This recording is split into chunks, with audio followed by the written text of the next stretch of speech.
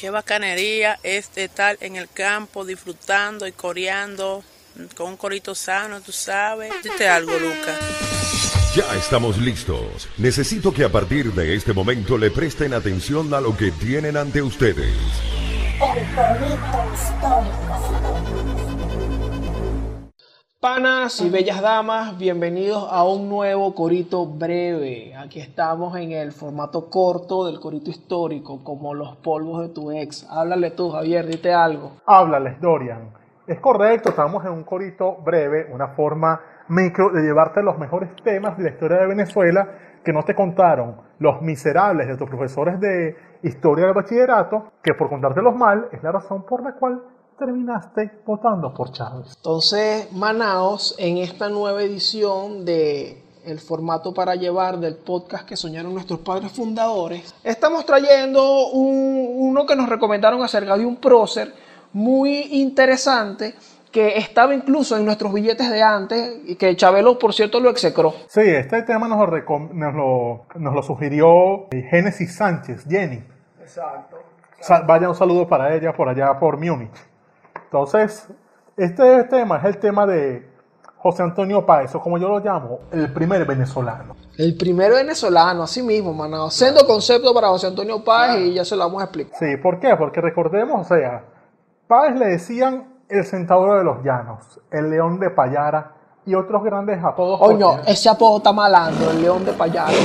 Sí, porque él tiene su cuartel en el sitio llamado Payara. Que eso fue lo que dice Gualberto Ibarreto, que se conocieron los dos por los lados de Payara. Correcto, ¿estás bien? Se conocieron los dos por los lados de Payara. Uno levantó la voz y el otro no dijo nada. Vamos a ponerlo en los links para que la gente se lo vacile, cultura popular. Claro. Entonces, les recuerdo, o sea, Páez es un tipo que nació en los llanos, era un hijo de un blanco de, un blanco de orilla, un canario. Un canario. Eran, eran pelabola. Sí, era catira, pero era pelabolas, o sea, carajo que no, que lo que andaba era ahí reuniendo, reuniendo 10 por completar 20. Y recordemos que los canarios eran tipos que se dedicaban a oficios que no eran bien vistos por la, por la clase aristocrática de... Sí, entonces él nació en un sitio llamado Curpa, que no, no es culpa No es en en Oriente, oriental. no es en Oriente. No, no es culpa en oriental, es un sitio que se llama Curpa allá en los llanos por Araure. Entonces, En Curpa son curperos o culpables. culpable o no, como dije.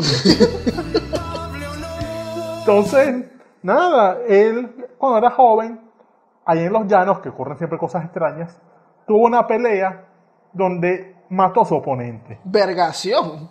Sí, o sea, ¿Qué clase de peo tienen los llaneros que terminan matando a eso otros? como así? que fue una vaina así tipo los carajos del Rappi en Santiago hace unos meses. Nada, hicieron un corito ahí, un coliseo sano y el carajo lo, lo mató y el carajo entonces se, se fue corriendo a los profundos llenos para esconderse la autoridad porque coño, no podía.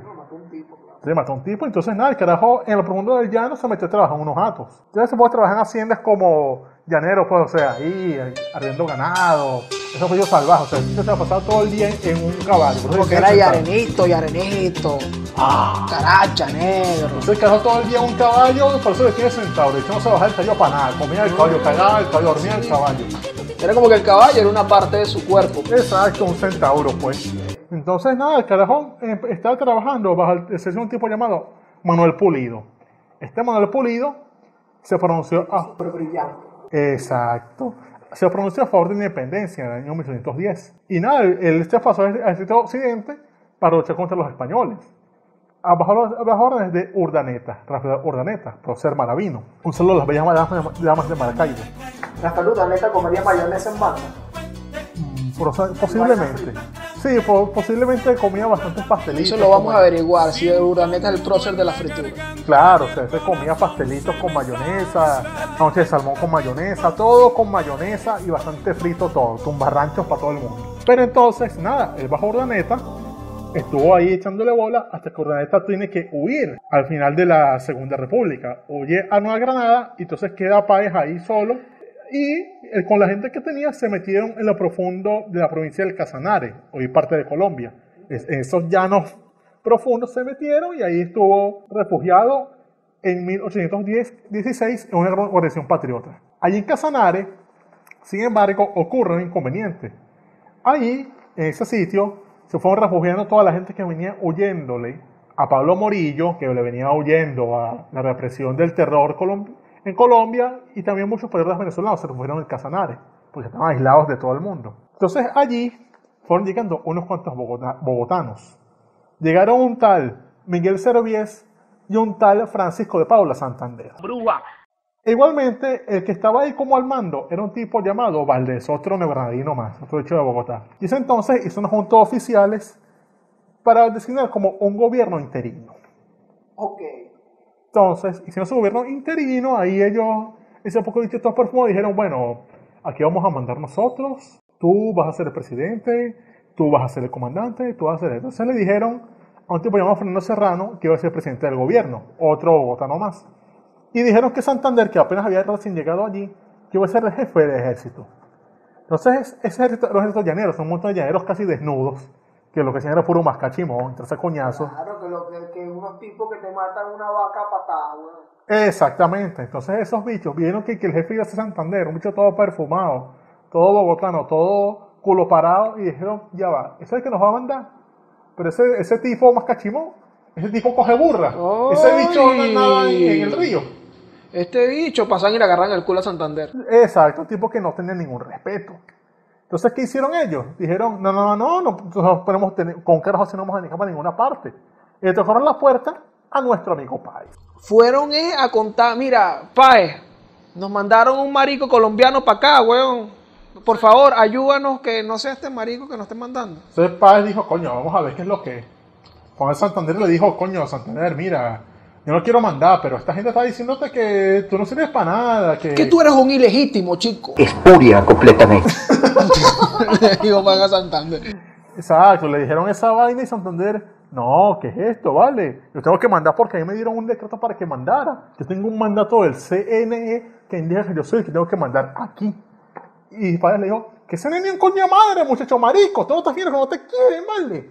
Coño, ¿qué es esto? Tú no puedes mandar, o sea, demuestra que, coño, ponte a nadar ahí en el río, nada sobre las pirañas, agarra y cabalga, cabalga un, un caballo por todo, la, por todo el Arauca, cógete una burra, no sé, pero haz algo. Y Santander dije, ay no, yo no hago esas vainas. Bueno, pero tú eres marico, muchacho, le dijo Páez. Sí mismo, o sea, también era una vaina incoherente, como un tipo que en su vida se había cogido una burra, vaya a mandar a un poco de carajo ahí que saben ordeñar vaca, que matan cochinos a pellizco. Entonces después Páez se devuelve y, la, y más solo dijeron, coño, ¿qué es lo que nos podemos tener ese tipo ahí? Páez, hazte cargo.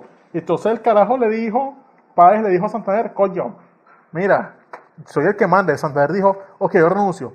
Páez, coño, pero ¿qué vas a renunciar? Tú si no, no te quieres, ¿vale? No puedes renunciar, estás tumbado, chico. Hasta que Santander bueno, ¿qué cosa es la que o me hacen la renuncia o me voy? Y entonces Páez le dijo, está bien, acepten la niña la renuncia. Aceptan la renuncia y el bicho se fue. Y entonces ahí Páez se convirtió en el líder de la Fuerza Independiente de Llaneros. Santander era como un Julio Borges. Exactamente, un bicho todo culo parado que pretendía que él podía hacer todo porque... No, Yo vengo para acá, a mí me mandaron para acá a mandar. Oyeron, muchachos, fue enflusado para allá, para los, pa los llanos. Exacto, todo enflusado y perfumado. Y lo que llegó le agarraron el culo, lo, lo- lo empujaron y el bicho no respondió. Y ah, no, que este marico no lo respeta a nadie. Y le pegan, como le pegan a Julio. Entonces, coño, Páez ahí al mando, ¿qué fue haciendo? El carajo fue recogiendo a la tropa de Bobes. Eso es un valor importantísimo, porque recordemos que a ese ejército de Bobes lo llamaban la Legión Infernal. Sí, y era un ejército que era un ejército venezolano. Un poco de malandro. Un poco malandros llaneros, porque eran puros ya- malandros nacidos en Venezuela, de los llanos. Entonces ahí estaban carajos que si bien habían matado mucha gente, eran carajos valiosos. Carajos Carajos por que ejemplo sabían pelear, pues. Juan José Rondón, el hombre que fue el que salvó la batalla de Boyacá, era de la tropa de Bobes. El mismo Pedro Camejo era de la tropa de El Bobes. negro primero era de la tropa de Bobes, ¿verdad? Hay- con eso hay uno, un... Está retratado en la autobiografía de Páez incluso. Esa parte como del reclutamiento de Pedro Camejo. A ver, que siempre se retrata mucho. Cuando se habla de Pedro Camejo, se habla de, de José Antonio Páez. Creo que también inmortalizado un poco por justo la canción de Gualberto, Sí. que habla como de una relación muy de pinga entre ellos. sí, es que eso es Venezuela heroica realmente, o sea, eso fue Eduardo Blanco. Exacto. Pero la cosa con Pedro Camejo es que fue un tipo que peleó con, con la tropa de Bobes y después, bueno, el y se cambia de bando. pues. Sí, porque yo creo que en la autografía él dice que Bolívar se lo encuentra. Entonces Bolívar pregunta, coño, ¿por qué tú, ¿por qué tú uniste esa vaina? O sea, tú eres negro, tú eres regla, tú eres un tipo de pingas, ¿por qué tú te, tú te uniste a ese ejército de bobes? Y este pero como le digo, mire, mi general, lo que pasa es que, coño, yo vivía en la pobreza, entonces yo veía que los carajos se unían a ese ejército y se iban allá solo con el caballo casi que desnudos. Y a los dos meses cuando los volvían todos uniformados, llenos de real, coño, ¿qué iba a hacer yo? Exacto, eso es lo mismo que le pasa a los carajitos ahorita con el vecino guardia. Exactamente. Oye, yo vi que el vecino mío lo manda de escolta, el vecino mío es escolta y- o, o es guardia y lo mandaron para la frontera, mano. Y bueno, yo me metí a guardia también. Exactamente. Entonces, coño, esa clase de cosas, esa clase de gente que había estado matando a las órdenes de Bobes, las recogió Paz y las puso por el buen camino. Eso nos da un- una lectura más o menos de qué clase de tipo era Páez. No voy a decir que era un mal tipo, pero era un tipo que tenía las bolas de mandar una tropa de ese calibre. Pues un montón de energúmenos, el tipo recluta a esos tipos y los tipos le hagan caso a él. Los disciplinó, pues, o sea, le dijo, no, no, no, no. Bajo el- España no, la vaina es con la patria. Porque ustedes en una patria de verdad van a tener cabida, no con los españoles, sino con nosotros. Es el carajo que logró quebrar la brecha que no había quedado Bolívar. Que Bolívar siempre era una vaina que los criollos, no, Páez incluyó a todos. O sea, logró unir a la Venezuela mestiza con la Venezuela criolla en pro de expulsar al enemigo español de Venezuela. Bueno, y esto, eso, eso que tú estás comentando es muy interesante porque recordemos que estamos hablando de un carajo que se formó él mismo, o sea, él, él era analfabeta. Sí, un tipo que no sabía leer, no sabía escribir, nada de eso. Y transmití ideas a los carajos y a otro montón de, de, bueno, de llaneros, de carajos que venían de matar gente en banda por ahí. O sea, veamos, era un tipo que no sabía, no sabía leer ni escribir, sino que también padecía epilepsia. Además, Sí, o sea, el carajo de repente estaba cabalgando en plena batalla, y el carajo empezaba a temblar, a temblar y se tiraba al piso. Y la gente, mierda, mi general, ¿qué pasa? Mi general. El bicho ahí vuelto loco temblando. que en ese momento se decía era que se le metía el diablo. Sí, bueno, eso también es un efecto psicológico que, que el carajo generó. Que, que decían, mira, se le metió el diablo. Entonces eso hacía que la batalla se, deteni- se detuviera. Y entonces causaba más miedo aún a, a- a los enemigos que decían, mira, ¿qué es lo que le está pasando? Se cagaba más aún. O sea, el carajo usó su condición a favor de la causa. Ponte que yo sea diabético y me vienen a robar y agarro y simulo un coma diabético. Me acaba de dar un coma. No, lo simulo no, me da. Y dice, no, es que eso es el diablo, alájense de mí o los Ese mato a. ¿vale? Qué increíble ese José Antonio, que además supo agarrar esos peos que él tenía para meter miedo. Sí, o sea, arrechísimo. Y entonces, coño, el carajo con eso realizó muchas hazañas. Por ejemplo, esto de las queseras del medio. Lo de las queseras del medio. Una batalla que lo hizo súper famoso. Correcto, porque habrá sido. Incluso también es parte de los relatos de la Venezuela heroica, Ajá. porque aquí ocurre una vaina que incluso agarraron los chavistas para hacer una misión. A ver. El Vuelvancara. Necesitamos desmentir el Vuelvancara. Sí, porque te lo pongo de esta manera. Se supone que esa batalla fue un beta en el cual Páez con 150 jinetes derrotó a cerca de 1500 jinetes que tenía Pablo Murillo en el llano. Y supuestamente lo derrotó haciendo como un contraataque, o sea, llevándose los jinetes a un punto donde podían atacar de forma apropiada. Y en el momento en el cual se voltearon, Páez gritó de forma enérgica: ¡Vuelvan cara! Da- coño de la madre. ¿Tú te imaginas a un tipo que no sabe leer, no sabe escribir, que tiene que disciplinar una tropa de energúmenos mal hablados diciendo vuelvan caras? Eso obviamente lo que dijo fue, vuelvan partidas de cogidas coño de su madre, maten a más nuevos. No vuelvan caras, ¿qué vaina es esa? Vuelvan caras de bola. Lo que pasa es que, bueno, la gente se toma muy en serio a Eduardo Blanco, que es de donde creo que sale el tema de, de- vuelvan caras, o, o- o se empieza este mito. Que realmente, ¿de qué se trata? Las queseras del medio sí fue en una acción que, que él inventó, o sea, que él planeó. ¿Qué pasa con Páez? Páez dice, coño, hay un coñazo de soldados realistas por aquí. Yo tengo a este poquito gente. Vamos a hacer una guerra guerrilla. O sea, yo no voy a ir a estarme enfrentando con esos tipos. Y entonces él empezó a ladillarlos. Uh, los ladillaba. Y se regresaba, empezaba a huir. Y de pronto volteaba de nuevo. Y así él pasó cuatro días, cinco días en ese peo, molestando a Morillo que estaba allá. Incluso en su autobiografía el tipo menciona, como cagaba de la risa, que en ese plan de estrategia que él hizo, agarró a, a dos caballos salvajes les amarró en la cola unos cueros secos y los soltó para el campamento de Morillo. Eso volvió un culo eso. Los tipos estaban cagados porque pensaban que iban por ellos Que y tal. avanzada, pero vinieron a dos caballos y se volvieron locos. Venían a dos caballos que hicieron un desastre ahí y retrasó las vainas de Morillo. Entonces, la estrategia de Páez era básicamente ser una maldita ladilla. Empieza a ladillarlo, empieza a ladillarlo y es que fue lo que tú mencionaste hace un momento. Lleva a la tropa de Morillo hacia un punto en donde están ellos en superioridad y los emboscan. Sí, los emboscan y hacen entonces que una tropa de 1500 jinetes pierda 400 jinetes, mientras que para solamente perdió como 8 jinetes y tenía más 150. O sea, fue una vaina tipo la otra de las Termópilas, tipo 300. Ahora, que le quede bonito el nombre de Huelvan Caras a esa operación militar, está bien, pero Páez no dijo eso. Claro que no, probablemente dijo muchas más vulgaridades de las que yo dije. Entonces, coño, hablemos claro. O sea, era recho, sí, pero no era ningún poeta. Exactamente, aunque, aunque es un carajo que como dijimos sobre era analfabeto y él aprendió a leer, a escribir, a hablar idiomas. Sí, poco a poco el tipo aprendió a leer, aprendió a escribir, aprendió a tocar violín. Ulala, señor Francis, sí, O cómo sea, no. se volvió un tipo cultísimo. Creo que superó a través del estudio, a través del, del billete. Y apareció después que el billete de 20. Sí, el billete de 20 bolívares de antes, de los bolívares reales. ¿Sabes qué? Cuando empezamos a hablar de, de este pana, mencionaste que era el primero venezolano. Sí. Vamos a aclararle a la gente por qué José Antonio Páez, un prócer valiosísimo, es el primero venezolano. Porque recordemos que Bolívar tenía era una concepción de la nacionalidad en lo que se llamaba la Colombia. Era una nación inmensa que abarcaba desde, desde Cumaná hasta el sur de Quito. Una vaina completa. Pero eso es realizable. Bueno, fue realizable porque al final se disolvió.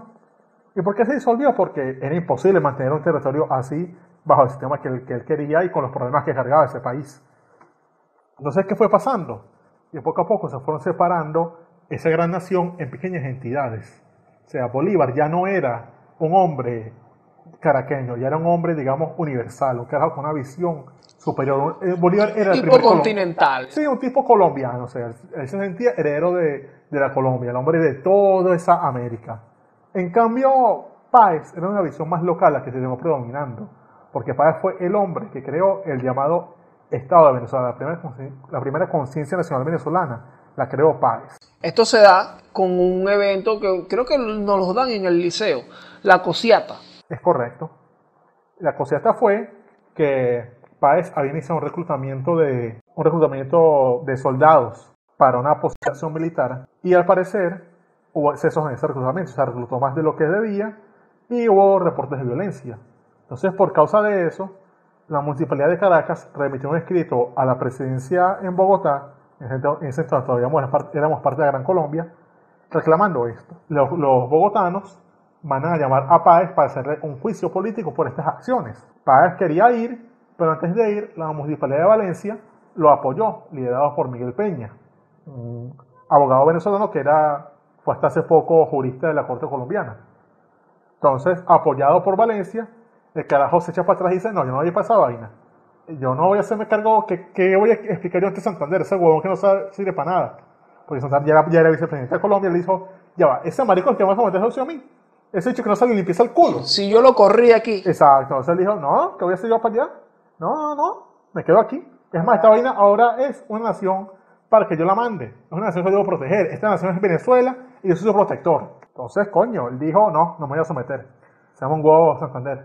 entonces se da, ¿qué pasa? La cosiata básicamente fue un movimiento separatista Sí. que se, él recibió un apoyo ahí de, de Valencia y él se envalentonó y dijo, no vale, sean maricos todo el mundo, aquí somos venezolanos. Entonces, ahí es donde entramos en la cosa de que Páez es el primer venezolano. ¿Por qué? Porque la concepción que por lo menos tenemos en este momento nosotros de país es justamente la de Páez, no la de Bolívar que es Colombia. Es correcto, o sea, él fue el primero decir Venezuela es una entidad aparte de Colombia. Esto no es lo que plantea Bolívar. Debemos ser una nación aparte, porque nos diferenciamos en muchas cosas. Y, y de hecho, ya cuando se separa Venezuela de Colombia, queda Páez al cargo del país. Y, y Páez tiene que enfrentar varios eventos. O sea, hubo una insurrección en Venezuela en el año 1827, que es cuando se alzan armas un tipo llamado José Dionisio Cisneros. Este tipo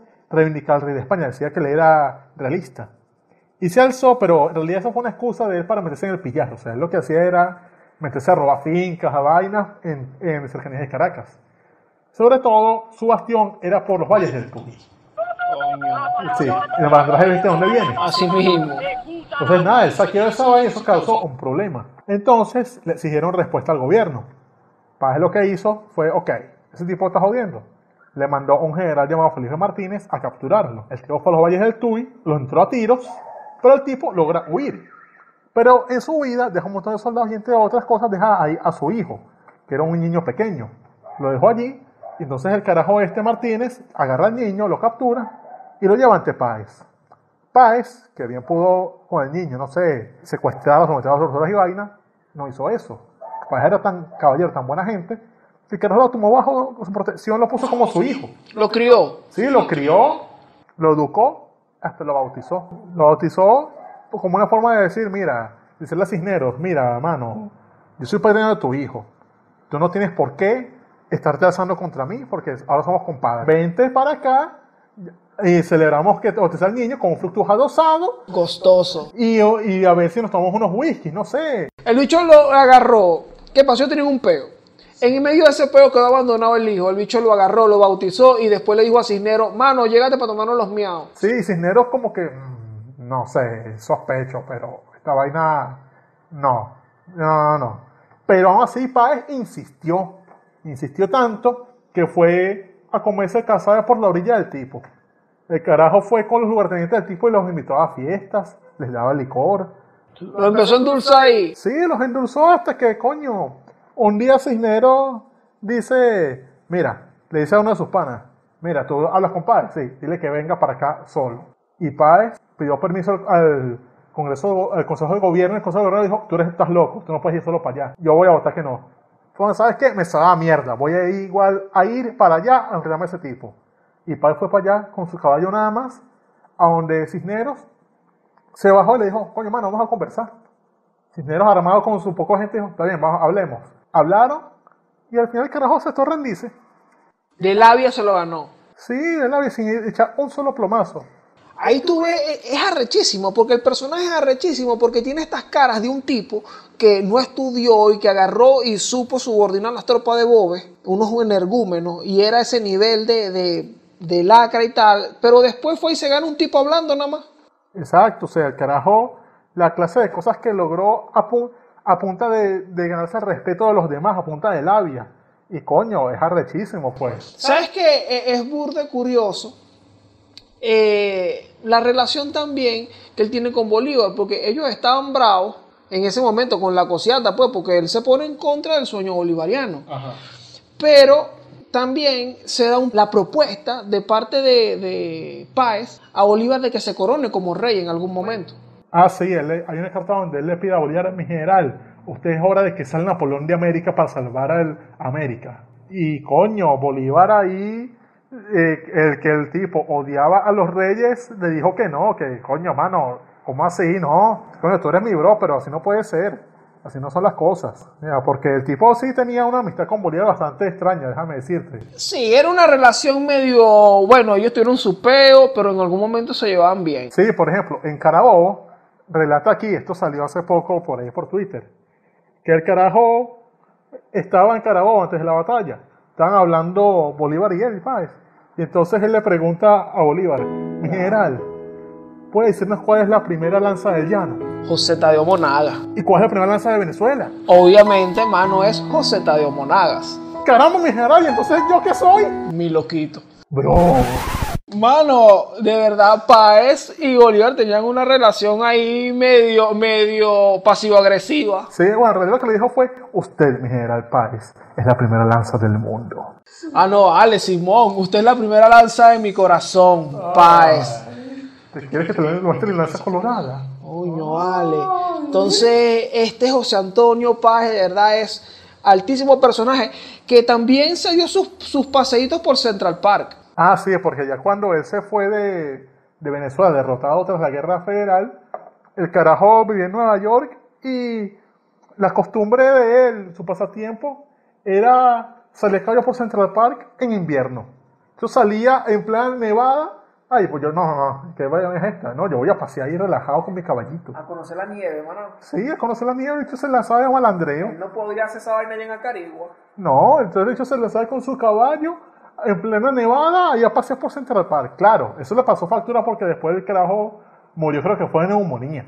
Así mismo. Oye, porque un, un cuerpo de no sé cuántos años no aguanta una nevada en Nueva York.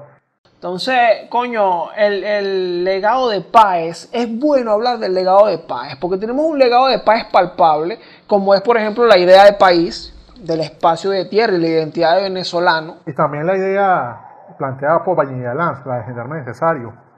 Esa idea se desarrolla a partir de Páez. Muchos dicen que es a partir de Gómez porque, bueno, Lanz tenía muy, muy mala fama por ser gomecista, pero él escribe el sistema democrático en base a Páez. Porque Páez, recuerden que vino a ser, digamos, el refugio de la oligarquía venezolana frente a la barbarie. O sea, la gente le dijo a Páez, mire, hágase cargo del poder usted para que nos proteja a nosotros, nos proteja de la paradocracia, del horror. E igualmente, cuando él vuelve al poder en el año en 1861, le dicen, mire, usted es el, le dan el título de ciudadano esclarecido. Es decir, le dicen, usted va a ser el dictador para salvar a la república del, del horror de, de Zamora y de, y de los federalistas. Salve la, salve a la patria, usted protéjanos de- del horror. Y Páez cumplió su labor brevemente, o sea, el carajo estuvo ahí de dictador como- pero como en forma romana, pues, o sea, con el que la institución de la dictadura es una cuestión romana que le, le da poder a un tipo para que en un periodo corto de tiempo resolviera el inconveniente y luego enterrar por otra vez al Congreso. Pero Páez hizo algo así.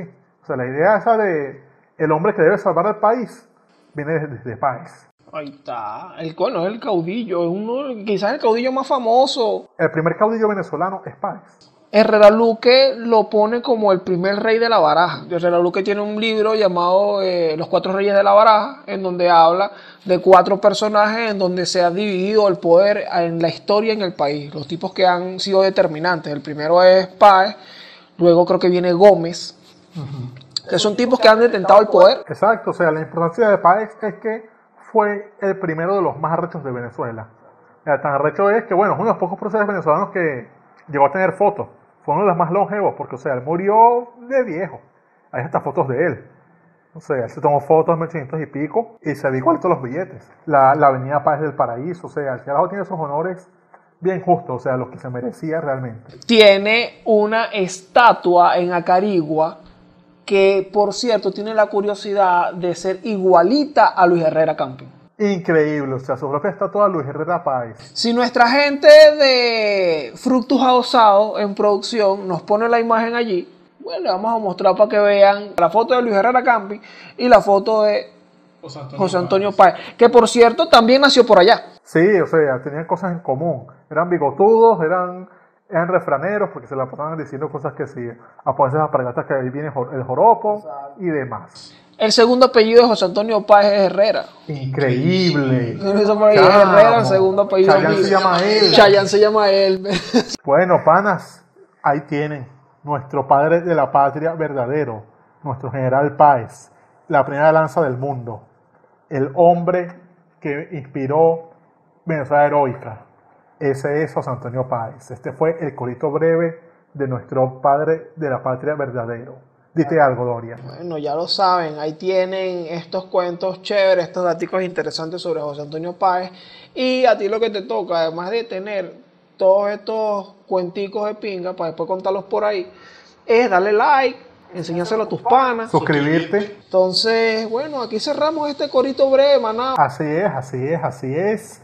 Gracias a Fructuja Dosado, a todos los demás. Me quité ya.